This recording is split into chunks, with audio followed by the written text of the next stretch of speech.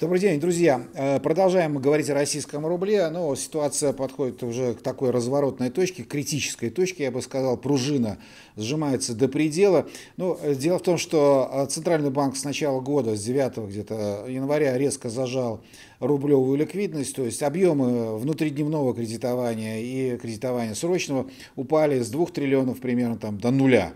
И, соответственно, мы видели вот это движение с 92 до 87,5 нашей валюты. То есть рубль по отношению к доллару укрепился. Я беру пару доллар-рубль, потому что это такая привычная индикативная котировка, индикативная пара. Так вот, э, вот это все привело к тому, что э, когда ЦБ ограничивает предложение рублевой ликвидности для наших банков, на межбанке возникает периодически, ну или так постепенно, проблема и дефицит рублей, проблема с рублями. Ставки на межбанке растут, это хорошо видно, ставка там поднялась с 15, грубо говоря, процентов до 16, причем 16 это было позавчера, сегодня пока не знаю, вчера были выше 16, 16% ставки. Сегодня пока не знаю, какие, какой уровень межбанковского кредитования. Но вот а, недостаток рублевой ликвидности заставляет банки забирать деньги с депозита в Центральном банке. Они часть средств держат там, потому что там высокая ставка в районе э, ставки ключевой 16%.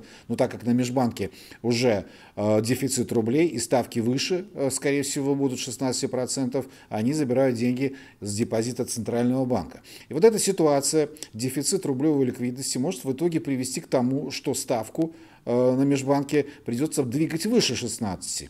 Э, задача и обязанности российского ЦНБ, ну, для этого и существует ставка рефинансирования, если рынок межбанковский уходит выше, э, предоставлять рублевую ликвидность, увеличивать предложение рублей для того, чтобы ставки находились в той зоне, которую Центральный банк считает комфортной. На данный момент это 16%.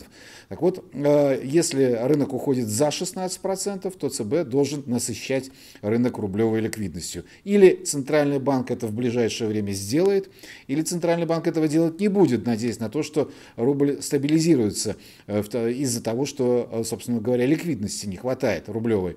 Э, вряд ли. Дело в том, что если ставки будут очень высокие, это начнет прямо отражаться на российской экономике.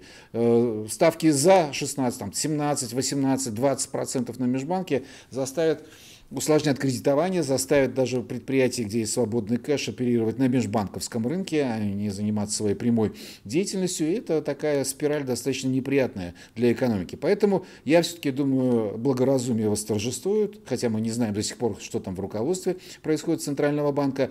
Благоразумие восторжествует, и рубли Центральный банк даст в большом количестве. Тем более впереди у нас налоговые платежи. А, предоставление рублей вызовет э, обратное движение, ослабление России российского рубля. Ну и я вот на своем канале закрытом, если кто-то хочет, можете вот по ссылке она внизу подписаться. Об этом говорю, что вот ситуация развивается не в пользу нашей валюты. И даже в налоговый период, если ЦБ предоставит ликвидность, опять же, вот эта зависимость, если дадут рубли, рубль в налоговый период будет слабеть. Э, вот такая зависимость сейчас образовалась из-за операции Российского Центробанка. Э, ближайшие цели там в районе 90, ну а дальше там 92, 93, 50. Вот это такая цель среднесрочная, которую я рисую.